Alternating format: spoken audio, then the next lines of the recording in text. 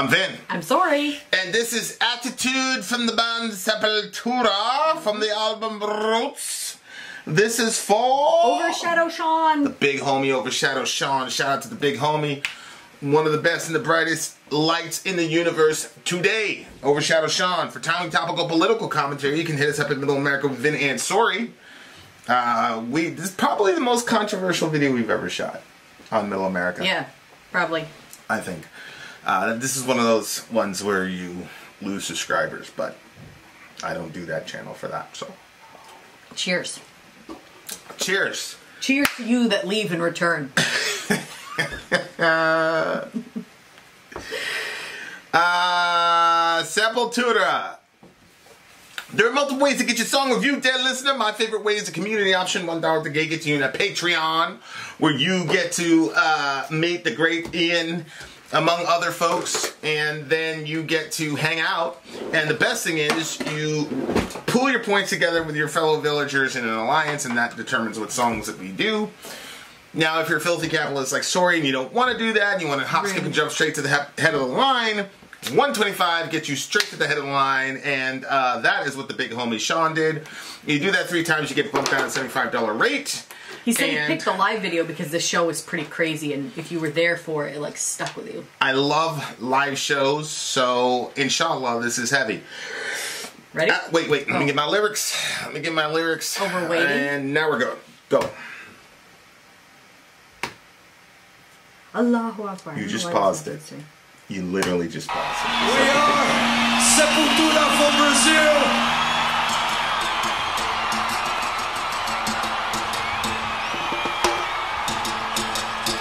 That's interesting.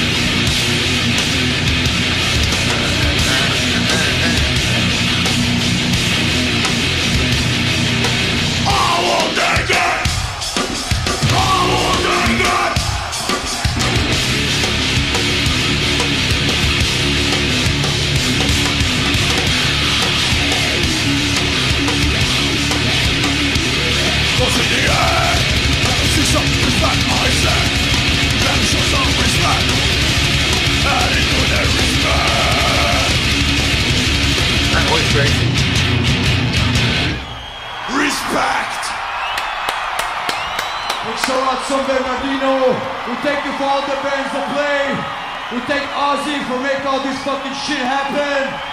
Fuck the alternative music. This is for real, man.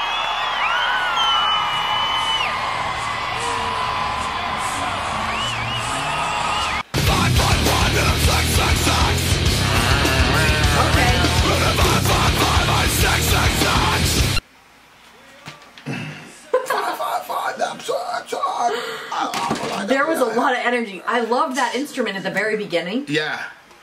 These guys, uh, that was a, it was it was fun watching you recognize that that riff, huh? Yeah. Dun, dun, dun, I was like, hey. uh, but that was 96. You're allowed to do that in 96, bro. 98, 98 is when the, it took off and all the bands sounded the same. And even though like they had the kind of riff, uh, the Korn influence riff, like they had a completely, they had their own sound. Like it was still, you know, muddy, sludgy, but they had their own sound. And it was just, he has, like, you, he was rocking when he was playing the little, I don't know what the hell that's called. But he was rocking when he played that instrument, whatever the hell that like instrument a was. it looked like a fishing pole. Well, yeah. No, I'm with it. I'm with it. And I, I, I want to. I'm like, what's the name of that song again? Attitude. Attitude. Live. And where was it? OzzFest. Did you hear him? He's like, "Fuck the alternative music. This is the real shit." Yeah. Yeah. That's I how we were. That's how we were back in the day, bro. That's how we were. We were like, "Man, fuck all Yeah, that well, I shit. mean- None of that shit is real, I bro." can, I can understand. And then, and then uh, all the like old school metal heads are like, "Man, that shit you listen to isn't real metal." Blah blah blah. I was like, "Man, fuck you, bro. This is real shit. Come see it." That's ridiculous. And uh, I tried to the song that we're on and uh, in the band that we're in. I tried to I tried to write a nu metal song because mm-hmm. you know that those are my roots. And then my other guitarist is like, "Bro, this is not a nu metal song." I felt like a failure. But then they were happy. Yeah. Well, yeah. Uh, the drummer was happy. Please. The drum, no, I don't aim to please. Fuck all of you in the band. The drummer was happy. The the the other, you know, Jay was happy. Everybody's happy. It's not a nu metal song. I'm like, what the hell? I didn't know they didn't want it to be nu metal. Yeah, yeah, I, I, yeah. I did. I don't think they want. Braxton I don't think. Uh, suck it up. You'll be all right. I didn't. Yeah, I didn't think they wanted. Uh, I don't think they wanted it to be a nu metal song. So Well, try to add some nu metal out. elements into it, and it just didn't work. So, and you know what I think it is is like I was doing all that scale work. You know what I mean? And you know, just to get my dexterity. yeah. and just because I was trying to, you know, whatever, and so then when I started actually trying to write a song, like, you know, obviously I defaulted to that. That's what I've been doing for the last two months, and then, you know, unfortunately, it's not a nu metal song. Like, sorry guys, if you're hoping, I, I'm sure, like, a lot of people were like, oh, I expected you to do a nu metal song, but mm-hmm. then when they heard the opening riff to the song, they're like, that's not nu metal, bro, and they're like, I'm pleasantly surprised. Fuck all of you. Hurt my feelings. Aw. Yeah, but this song was crazy. The atmosphere was crazy, like right from the beginning, man. Yeah. Like right from the beginning, he was like hitting mm-hmm. it, and like his dreads are going everywhere. I'm like, yo, this song. He kept that energy. It's about to pop off. And again, this is one of these songs where lyrically, straight to the point. I'm trying to find what this freaking instrument is. Nobody says anything about the instrument in the comment section. Nobody knows. Well, I think it's Nobody because a lot of these people are actually like Brazilian, so they actually know what the instrument is. So they're, Oh, you know what I'm saying? Like, shout out to I'll shout out, up those shout out to. Brazil, shout out to Brazil. Uh, okay, so what did you think was going on lyrically? Uh, hold on, I'm pulling it up. Uh, Oh, I, I didn't actually really look into the lyrics a whole lot. Again, I, I just thought it was just basically about, you know, like surviving and like F this if you have to, you know, like just that sort of attitude, the, the attitude of, I don't know, What? a kind of metal attitude where you're just like, you know, F this, F that, like, I don't know. And then at the end, the attitude where he said, like, you know, industrial stuff. What did he? What, how, what did he, He didn't say industrial? industrial. He, He said, said uh, alternative. yeah, alternative stuff. Like that, just like that attitude that he had at the end. It was like I thought the song was just that. I don't I don't know what was happening in like the rock music world in 1996. You know, we were just coming out of the homeless shelter and moving into the Bronx in 96. So I was deep deep into Mase and Biggie and Yeah. Pocket just died. So I, I don't know what he's referring to when he says alternative, but I'm sure it, it's music that wasn't heavy. like um one week struggling in the real world is so you can see. Feel your soul and shape your mind to warfare. It's all for real. So that's an interesting phrase, the real world. That's a phrase you hear a lot when you're a teenager and you're sort of in that in-between period where you're you're no longer a child but you're not yet an adult. Yep. The kids hear it from me. And so you have certain perceptions of how the world Yeah. works that are extre- they're very simple. Yep. they're very binary and you think you got it you like you got to figure I, I remember like i remember like i was beefing with my mother so bad and i remember thinking to myself man fuck this bro i'm just gonna go and i'm gonna go i'm just gonna sell drugs when i sell drugs stack up some money i'll get an apartment me and reef will get an apartment fuck all shit i don't need her blah blah blah Oh, I, I didn't know you had that. uh Oh, of course. What do you mean? What do you? Of course. Like you, you, you have drug dealers and stuff, and they'd be like coming to school in, in Gucci and all this. Yeah. And and and then they had cars. Yeah. And that was a big thing. It's like, oh, you still take the train to school, blah blah blah. You take the bus to school. I got a car, nigga. I got a car, nigga. But I never cared about that because I was like pretty confident. You know what I'm saying? Like as far as like my uh my uh, powers of persuasion. So I didn't care about that, but like when it was like got to the point where like it was impossible for me to live with my mother, huh. where I was like, yo, I'm, and you know, I'm not gonna go into like detail here, but like I had good reason to believe that. Uh, like I could possibly die in there, you know what I'm saying? So I was like, well, I'll just go sell drugs, whatever. You know what I'm saying? Because I, I didn't I didn't want any of the clothes or whatever, whatever. So I didn't care. I was like, I would just go sell drugs, and I'm like, oh, I do that for like a couple weeks and stack it up, right? And then I'll graduate school, and then a couple more weeks of that, and then you know I'll get a job at Burger King because I'll have all this extra money. I'll be able to finance myself. Blah blah blah. I went to school, and uh, Gosh. one of my mans was uh, we were at lunch, we were chilling, This is a new story. I've not heard this one. and he's like, uh, "Yeah, man, I was really fucked up." Blah blah blah. I was like, "What happened?" He's like, "Yo, I was on a 12 bus," and I was like, "Yeah." He's like, "At the stop, because the bus has a route. Yeah.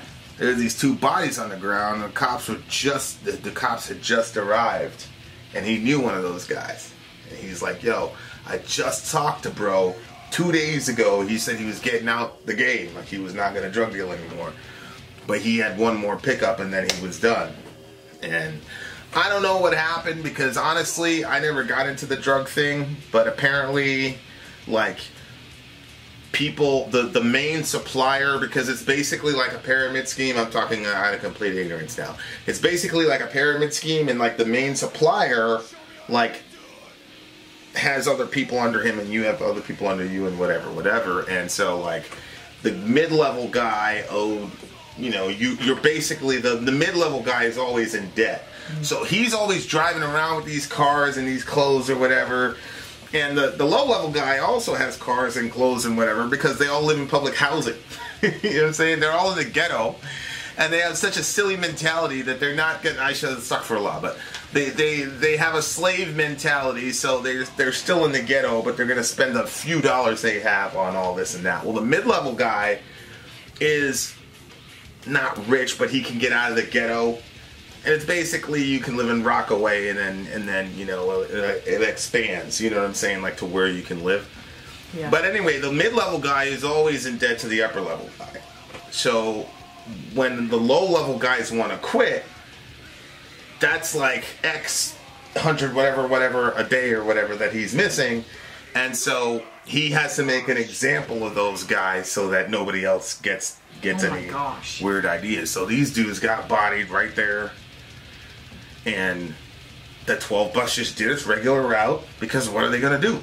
It's not like the cops are going to talk to the MTA, and, you know, and say, "Hey, don't bring your bus over here." Like, so, so he saw that happen, and he was like shell shocked. He was just like, Oh god. because it wasn't like dudes were getting shot every day. It wasn't Yeah. Chicago. Yeah. Like, people got cut very frequently. Cutting that was very frequent. Yikes, man! Wow. but and you would you would hear gunshots like I'd be at my girlfriend's apartment and you would hear pop pop pop pop, pop. you would hear it all you know you'd hear it all the time um, and then you'd be at the bus stop and be like yo niggas bussing like it was like a you know but oh, like Gosh. seeing people get shot was an event like Yeah. I look at some of these He Chicago saw them get shot, or he saw. he saw the aftermath. I mean, they were they were you know like I always say like people don't just they don't get oh, hit they and weren't completely dead yet. right they, yeah people don't get hit and you know but anyway and like of course everybody around us because we're all supposed to be cool and hard and mm. tough guys. I was like completely silent. I was wrecked. Everybody else is like, "Yeah, that's what you get, nigga. That's the game, bro. You know what I'm saying? You gotta have your own gun, blah blah blah." Everybody's talking all this shit. I'm like, "Nigga, you don't have no gun. Like, what are you talking about? Like, we were just in the rumble last week. You couldn't even, like." But here you are. Like, is like that was like a moment, like a real world moment for me. Like, yo, like I had no idea that that was Oh my a thing. Like, Yeah. I had no idea because from what I knew, all the drug dealers and all the what they were all in their little crew and they all got along and they would flash their money and all that. Like I had no idea that this the dude that you would, on like that. Yeah, he's like, yo, I was with those guys. Like they. They was always throwing parties, blah blah blah. They were partying together. Everything was all cool, and Gosh. you could tell he was really traumatized because he was trying to figure out how could something like that happen. How could somebody How could you party with be in your face Yeah. like mm, that and then Yeah. go and, and just kill you in the street in Yeah. broad freaking this is the morning. Like he was on the way to school. Wow. so uh man it was it, it was like a real that was that was a that was that was a very it's weird. Like i actually i've seen people shot. Like i've seen i've seen them on the ground and they're you know whatever but it didn't affect me because those du- dudes had beef with each other. So i'm like well i mean they had beef with each other. Like you know what i'm saying? And it was it was like holy shit these guys these guys are some bad motherfuckers because they came to our block and our block was not a nice place to be you know what i mean so Yeah. but I was like, yeah, but they had beef, and you know, we Yeah. were little, we Yeah. were little kids, you know. But that's what they all y'all some little niggas because we never got into any of that shit. Me and my friend Marcus, like, we never got into that stuff. So I didn't feel like I was ever like, In danger. you know what I'm saying. But this one was just like so weird to me because these dudes were partying with each other, and I didn't know that type of treachery. Like, I didn't understand. You know, you know I, I still don't understand. I mean, how can you understand something like that? Yeah. Yeah. But I remember thinking to myself, like, yeah, yeah, this shit is so simple, huh? You're just gonna go drug deal because you can't live with your mom? Okay. And then, oh, I'm gonna stack, and I'm gonna say, hey, Mr. Uh, supplier, uh, you know, my plan was to, you know, and I could, that plane out real quick. uh, yeah, because I'm like, I would have been dead because I would have had no clue. Because apparently the other guy was like, I don't know if we should be doing this, man. And the guy was like, nah, nah, we're good, blah, blah, blah, blah. So I would have been that guy. You know what I'm saying? The other guy was like, mm. Because he was like, oh, y'all want to. Uh, apparently he said, oh, that's okay. Can you just do one more uh, brick, what they called it, or whatever? I, I don't know. All the rappers were talking about bricks at the time, so I don't, I don't know that. But apparently, that's that's a lot. That's thousands of dollars worth of drugs or whatever. And uh, yeah, so that was like a real like rude awakening, man. That was like a real like, no, you ain't you ain't doing. I was Is like, that when that song where it says a brick a piece, capiche? Yeah, Is that what they're talking about? yeah, I got 100 bricks, 14 five a piece, enough to cop a six by a house on the beach, supply a piece of bricks, a brick a piece, capiche. Yeah, so he's getting $14,500. I don't know if that's like the running price, but that's in the in Biggie's song, that's what it was. But yeah, everybody, oh, I flip bricks, blah, blah, blah, blah, blah. So, like, that was the thing. again, we didn't know we didn't know any of that stuff. We were rapping it, but we didn't live that lifestyle. Like most of us did not live that lifestyle. The drug dealers in the school were few and far between, and you knew who they were because of how they dressed. Like that was it. But it was like a real survive the jungle, give me blood, give me pain. These scars won't heal. Yada yada yada. It's like Wow. it's like uh, you know. I thought to myself like. You know, everybody else was trying to stunt and act like they didn't care, but I cared. It was like, yo, what's wrong with this nigga Vin? Blah blah blah. I'm like, I'm like, what do you mean what's wrong? I'm like, these guys are fucking dead. What are you talking about? It's like, yo, you know them niggas, man. Who cares? Blah blah blah. But that was like one of the few times like I didn't feel like even projecting any of the bullshit, false machismo that we all. I I went along with it most of the time, but that time I was just like, mm-hmm. it really affected me because I was like, yo, that would have been me, bro. Like, I'd have done that shit because I I would have always had designs to get out of it. Like they would never be, you know. But while I was in it, I I feel like I would have been a very good one. You know what I'm saying? Like I feel like I'd have been made a, making a lot of money. So yeah, I didn't. Jeez. Yeah, I don't talk about that one a lot because like to this day, like still it's it's still uh, uh still difficult Yeah. Because they were trying to get out. You know what I mean? Like they were trying to, you know, I and it was both of them, and they both decided to get out at the same time. So I used to think to myself, like, did they had they like stacked up a certain amount of money so that they could go and open their own business? Because that's that's what they call washing the money. Like you you take you, you use it towards something legitimate, and I'm like. You know, were they happy? Did they have a girlfriend that they promised that they were done? Like, you know what I'm saying? Like, there's so many things. How that- old were they? They, uh, I don't know, because I, I, I had no idea who they were. You know saying? My friend knew who they were, but, but in New York, every there's so many like different pockets of people that you can. It's not like here. Like everybody knows. Like even, you know, like somebody got shot at Walmart here like two two years ago, and I googled the name. Stabbed it. I googled the name and I knew exactly who the guy was because everybody. Yeah. But in New York, it's not like that. Like Yeah. there's so many little pockets of people. So, so yeah, like that was that was the thing. Survive the jungle. you know, what were you thinking? What a wonderful world. You're full of shit. Leave it behind. They don't care if you cry, and uh, all you have left is pain. And uh, yeah, that's kind of what it was like. And and I was I was kind of really upset at my friends too, man. I, I was upset at the attitude because I was like,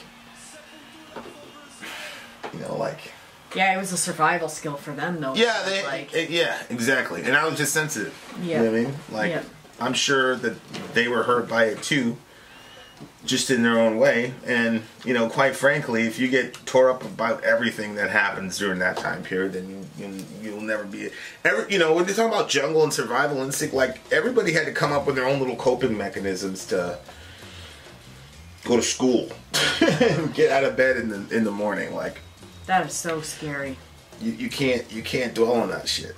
And and you you just take a gamble and you just you know and you know it was just one of those things where i was just like i was just like oh at some point you just have to be like well it could happen today but you know you you accumulate street smarts over the years. Mm-hmm. When you hear it's like when somebody gets shot in maine it's completely different than somebody getting shot in in where I came from. oh, I believe that. Maine- I feel like if somebody gets shot in Maine, you're like, I don't think to myself, well, I gotta make sure that doesn't happen to me. Exactly. So in Maine, it's like, holy shit, so and so got shot. Who shot him? Oh, blah blah blah. Oh man, that kid from this street over there. Blah blah. Oh yeah. Blah. It's just a like a. But where we live, it's like, what did he do? Where was he? What hood was he in? Yeah. Did he have anything on him? He was out there by himself with nothing on him. Blah blah blah. And immediately people start saying, oh, and they'll, they'll try to blame the person because it gives you some sort of sense of control. Like he, oh, he fought, he did something wrong. Like that dude that got shot up at, in our neighborhood. It's like, yo, how you you he had just come from this dude's girlfriend's house. It's like, come on, bro. Like, you mm-hmm. just came from this nigga's girlfriend's house. da. Of course, niggas gonna be running up on you. Blah blah blah blah blah. She mm-hmm. probably set him up. Blah blah blah blah blah. So like everything is like when you hear about something happening, everybody does some like some weird debrief.